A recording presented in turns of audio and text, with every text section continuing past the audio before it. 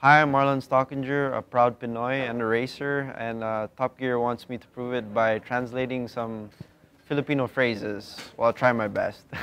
Bawal magsakay dito.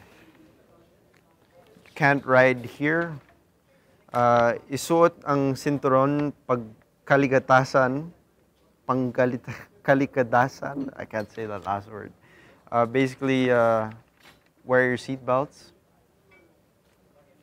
Babala maraming lubak. Man, this one I really don't know. This one, what is this one? It's malalim, these Tagalog words, so I'm gonna pass on this. I don't know what this is. Uh, bawal tumawid, may namatay na rito. So you can't cross, someone died here, basically. And bariya lang po sa umaga and change in the morning. So to all you jeepney drivers, thank you, Top Gear.